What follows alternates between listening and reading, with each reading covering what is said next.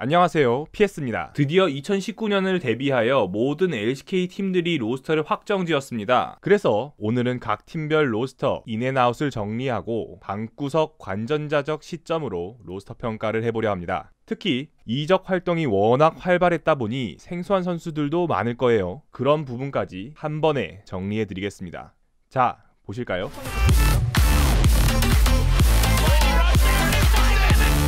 여기서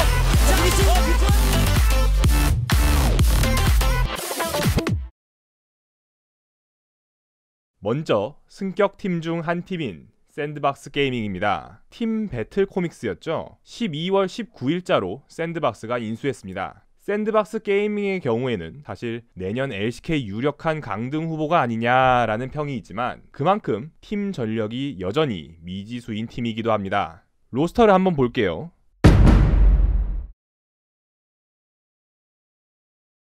우선 roster 점수 C0, 이적 활동 점수 C0를 드리겠습니다. 사실 Battle Comics 시절에도 눈에 띈다 하는 선수는 OnFleek 선수 정도였습니다. OnFleek 선수가 팀의 에이스 역할을 하고 있기도 하고 2018년 챌린저스에서는 독보적인 one top jungler였거든요. 오히려 이 팀은 아니 Untara가 여기에? 아니 Ambition이 여기에? 라는 조크가 오히려 더 화제가 되었던 팀이기도 하고 KT의 대퍼 타임을 패러디한 Battle Comics의 백호 타임이 더 유명할 정도였으니 실제로 Battle Comics를 보고 국내, 해외 어디서나 비트코인이다 라는 별명을 지어준 웃픈 사연도 있죠. 보여줘야 할 숙제가 너무나도 많습니다. 이적 시장에서도 한계를 보여줬어요. LCK 최약체 원딜로 평가를 받았던 고스트가 합류했고 토토로도 리턴했습니다만 고스트는 3연속 LCK 강등을 막기 위한 더 피나는 연습을 해야 할 것으로 보입니다.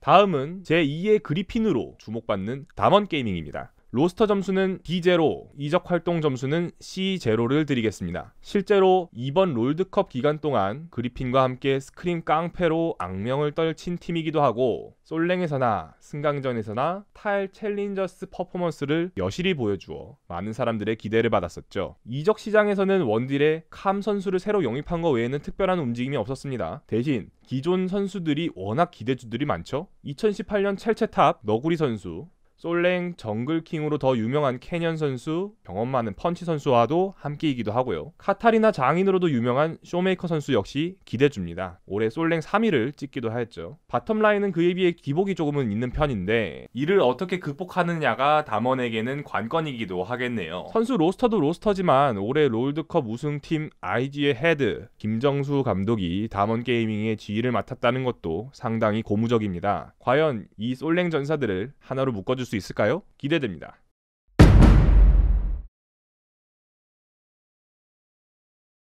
진에어 그린윙스입니다. roster 점수 C+, 이적 시장 점수 C+ 드리겠습니다. 진에어는 확실히 원딜 carry 중심의 팀이었습니다. 테디라는 걸출한 원딜이 이적을 하게 되면서 그만큼 팀의 전력이 확 내려간 것도 사실이죠. 팀은 그레이스, 노바 선수를 제외하고는 싹 바뀌면서 공중분해 수준입니다. 그나마 기존의 소환, 엄티 선수와 비견될 만한 린다랑 말랑의 영입은 선방했다고 볼 수 있으나 bottom은 여전히 물음표입니다. 그 외에 율천고 최현우라든지 새로운 얼굴들도 많이 합류하였는데 기존 장기전의 진에어, 이걸 진에어의 이미지를 180도 깰 수 있을지가 잔류냐 강등이냐의 키가 될 것 같습니다. 지금 라이엇은 장기전을 싫어하니까요.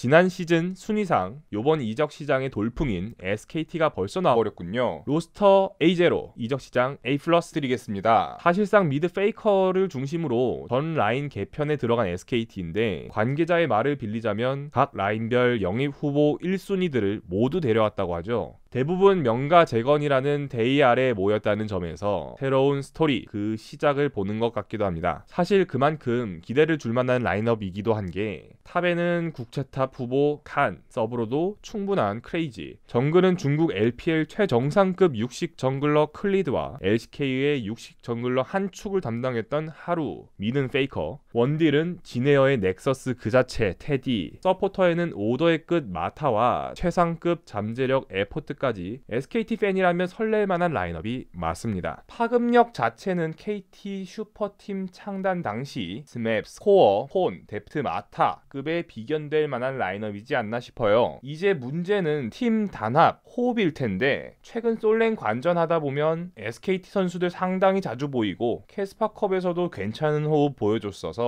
정말 왕좌 탈환 가능하지 않을까 싶게 만드는 팀입니다. 특히 개인적으로 테디 선수 너무나도 기대됩니다.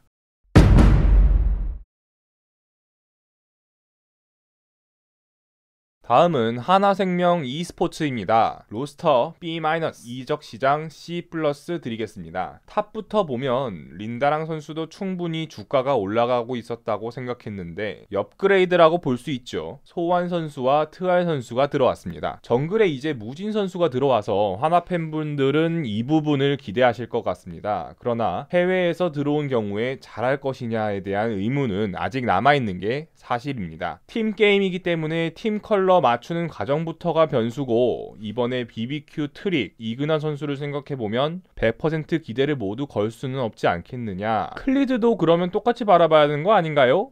네, 저도 그 부분은 같은 입장이지만 서브 jungler가 하루 대 보노 차이가 좀 나죠. mid는 그런 점에서 라바와 템트 둘 다 라인전 능력 좋고 상윤과 키 정상급 봇듀오기 때문에 상체적 보완이 조금만 더 잘 이루어졌다면 좋지 않았겠느냐 생각을 합니다. 여러모로 아쉽습니다. 대신 라바 선수에 대한 기대는 2019년에도 조금 걸어봅니다. 피즈를 비롯해서 암살자 챔프를 잘 다루는 선수라 meta가 딱 맞아 떨어질 수도 있을 것 같아요.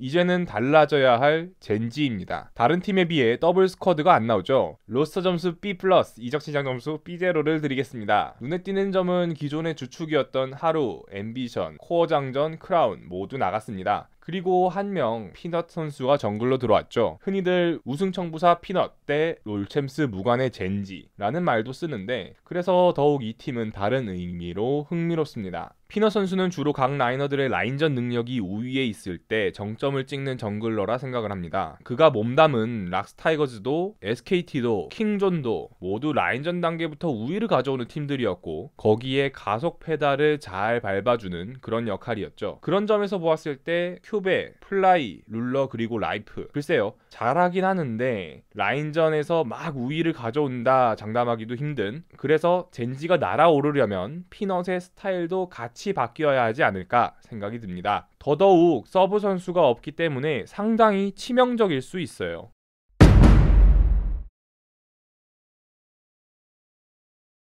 킹존 선방했습니다. 로스터 점수 B+, 이적 시장 점수 A- 드립니다. 사실 이적 시장 열리고 나서 킹존이 공중분해되지 않겠느냐라는 생각을 많이 했습니다. 그런데 이 정도면 상당히 선방했다고 보고 이적 시장 점수 후하게 드립니다. 라스칼 그래도 준수한 탑라이너라 생각을 하고 커즈는 워낙 잘하죠. 솔랭에서도 대회에서도 보여주기도 했고요. 폰, 데프트, 세트로 킹존에 왔는데 폰 선수의 허리가 버텨준다면 요즘 솔랭 폼은 또 괜찮게 봤었기 때문에 대신 서브 선수가 아직 안 보이는 건 아쉽네요. 데프트 선수는 LCK 최상급 원딜 중 한 명, 뭐 이견이 없을 것이고 투신 선수가 이제 데프트 선수와 죽이 잘 맞을 것이냐 다소 두 선수 모두 스로잉과 슈퍼플레이를 왔다 갔다 하는데 이 둘 간 중심을 잘 잡을 수 있을 것이냐 그게 관건이겠네요. 하지만 이건 분명합니다. 공격적인 선수가 그래도 아무것도 안 하는 것보단 낫다는 것을 상당히 신박한 조합이긴 한데 뭐 괜찮을 거라고 봅니다.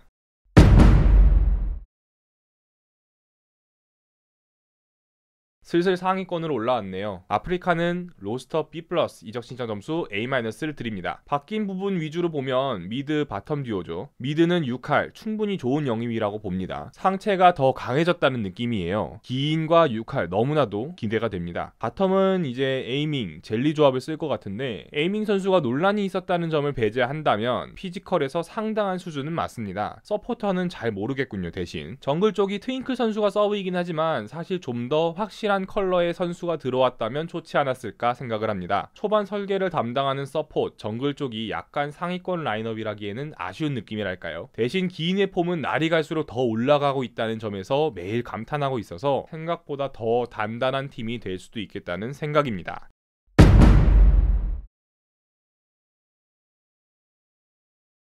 그리핀은 거의 그대로입니다. 로스터 점수 A0, 이적 시장 점수 C0 드리겠습니다. 미드라이너 래더 선수가 임대 이적으로 나갔다는 점, 그리고 딱히 큰 보강이 없었다는 점에서 이적 시장 점수는 높게 줄 수 없지만 여전히 다섯 라인 모두가 강해 보입니다. 로스터 자체가 탄탄하니 이들을 더 믿은 셈이죠. 제가 감독이라도 더블 스쿼드 scrim 돌릴 생각이 별로 없다면 요 다섯 명의 선수들을 무한 신뢰하지 않았을까라고 생각이 듭니다. 평가가 더 필요 없습니다. 빨리 이들의 경기를 보고 싶은 생각뿐입니다.